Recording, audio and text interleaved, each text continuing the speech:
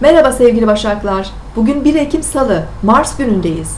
Bugün iç dünyanızda olup bitenler dış dünyaya fazla yansımayabilir. Bunları siz de bilinçli olarak yansıtmak istemeyebilirsiniz. Daha içe dönük bir karakter çizip hislerinizi ve düşüncelerinizi inceleyebilirsiniz.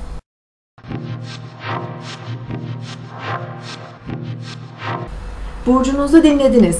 Bugün 1 Ekim Salı, Mars günündeyiz. Aslan burcunda ilerleyen ay sabah 7.50'de Venüs'le kare açı yapacak ve ardından boşluğa girecek. Ay gün boyu boşlukta ilerleyecek ve 21.53'te Başak burcuna geçiş yapacak. Gün boyu kendimizi coşkulu ve canlı hissedip keyifli ve eğlenceli vakit geçirmek isteyebiliriz.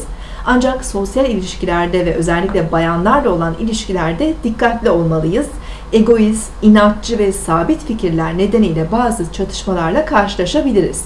Ay gün boyu boşlukta olacağı için günlük işlerimiz yavaş ilerleyebilir, sonuç almakta zorlanabiliriz. Yarın tekrar görüşmek üzere, hoşçakalın.